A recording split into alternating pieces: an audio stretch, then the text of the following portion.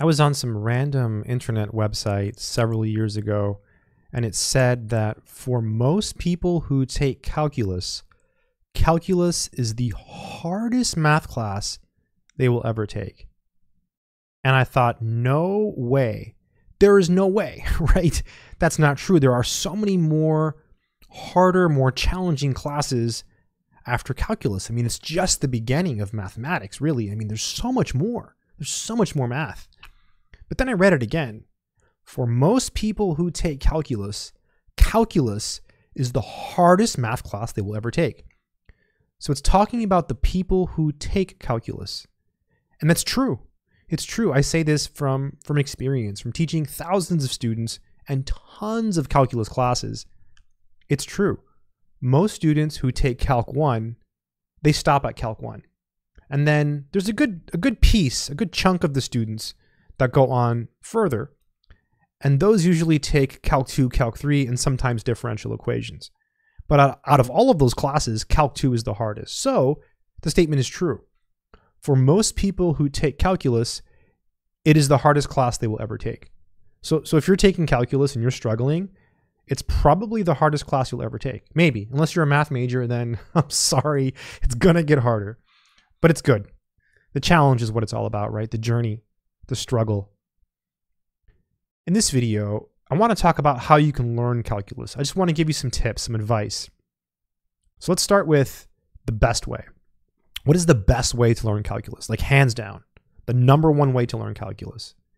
And this is probably not what anyone wants to hear because it's not easy. It's hard. It takes more effort. It's to actually take a class in college. It is it is the best way, right? But it's harder. Right? You have to pay for the class. You have to go to class. There's a grade involved, so there's accountability, which can be a good thing, but then it's kind of forced upon you, so it's not as fun sometimes. But that's the best way is to take a college class. Another way is to take an online class. There's all kinds of websites that sell courses. I have courses I sell. You can check out my website, freemathvids.com or mathsorcerer.com, or check out the links in the description of this video. If you do get my courses, please use my links. They're for sale on Udemy or Udemy. I'm not sure how to say it, but they have a pretty good platform.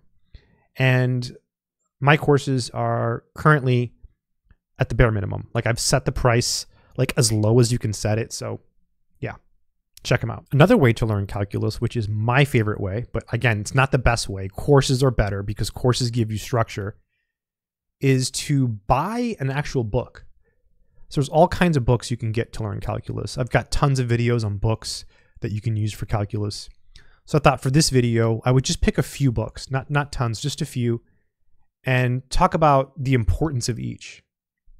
So the first book you need to learn calculus is one of the big thick books. There's all kinds of authors that write these big thick books. There's Thomas Calculus, there's Larson Calculus, there's Briggs, there's Swokowski. There's so many different authors who write these big thick calculus books. But the one that really stands out, the most popular one in the US and in Canada, is Stewart Calculus. I have it right here. This is just the regular Stewart 5th edition. It doesn't really matter what edition you get. There's also an early Transcendentals version. You can get that one too. It's not going to make a difference. What will matter though is the thickness. See how thick this book is?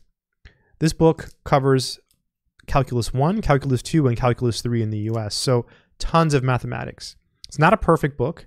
You're going to get stuck, but it's a book that you need. You need to have one of these big, thick books because it has everything you need in it. You're going to get stuck though. It's going to be hard. It's not easy.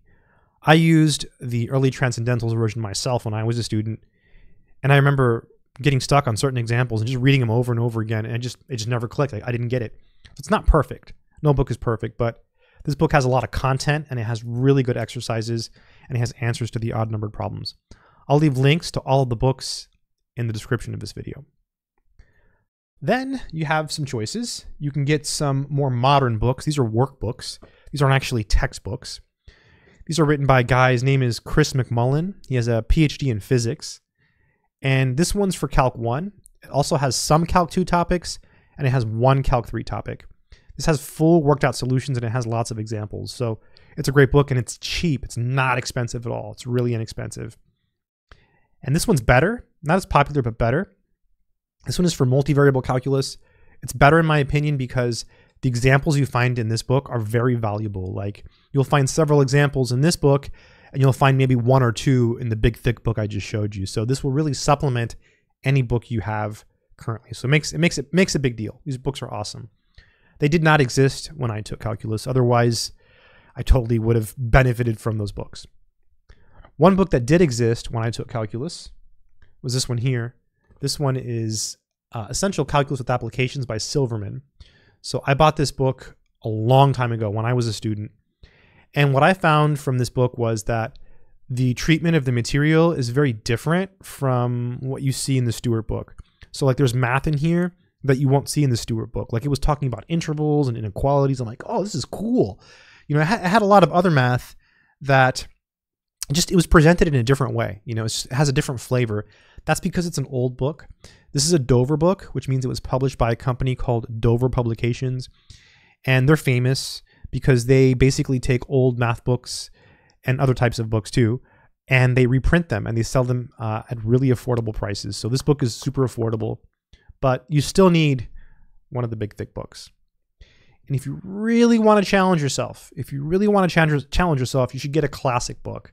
So I have one here that is very, very famous. I'm going to be very careful with my copy because this was not cheap. This has cost me some money. Uh, this is Calculus, and this is volume one. This is by the legendary Tom Apostol. This is a great book, and I, I will I will make a video on this book at some point, uh, a very in-depth video where I go over the book and maybe do some problems from it. But wonderful book, highly recommended. I will leave a link in the description. Excellent. This is not a low effort book. This is much, much harder than all of the other books I showed you. But what a book like this will do is it'll give you a little bit of elegance. It'll just give you it has a different flavor. You know, it's just it's a legendary book. It's like it's like you're holding a masterpiece in your hands uh, when you when you have a book like this. So wonderful book on calculus. So you're taking a course, or maybe now you've got some books and you're ready to learn calculus. So how do you start?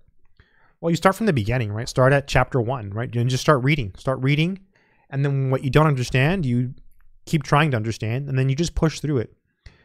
And you do as many problems as you can, and then you check your answers in the back of the book. And you just keep you just keep grinding forward. The best way though is to make sure that you do a little bit every day. So every day you want to do a little bit of math. So like let's say tomorrow you want to start. You say I'm going to start tomorrow. Tomorrow I'm going to start learning calculus. So instead of saying tomorrow I'm going to do calculus for half an hour, which is a great goal, which is a great goal. Say tomorrow I'm going to sit down and do some calculus and I'm going to do as much as I can and I'm going to get started. And since it's your first day, like starting, you're probably going to do a decent amount. The problem will come into play on that second day and on that third day. I know if you make it to the fourth day of consistency, that's when it really starts to break down. That's when people really start to have a hard time.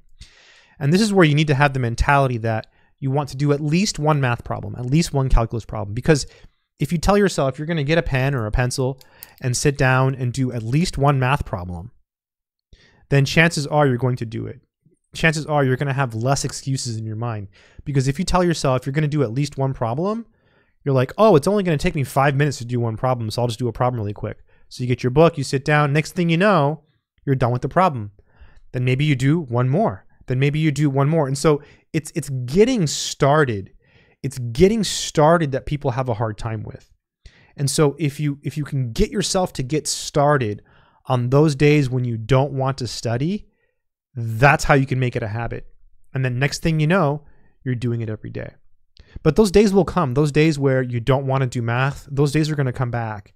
And again, you just have to have that mentality that you know you, you just want to get started. So those are some tips for learning calculus. And again i really think the best way is to take a course. And if you don't want to take a course try online courses. And if not get some books. You can also watch videos and stuff online for free but having some type of structure that you get from either a course or a book is much much better than just watching random videos on the internet. So once you have that structure you know whenever you do get stuck you can go online and you know seek help do you have advice for people watching this video? Any cool stories? You know, how did you learn calculus? What was the best way in your opinion? You know, what worked for you? Whenever you leave comments and stories, cool stories, people read the comments and those stories and it helps them. And that's a good thing. So, yeah, leave a comment if you have anything interesting to say. Until next time, good luck and take care.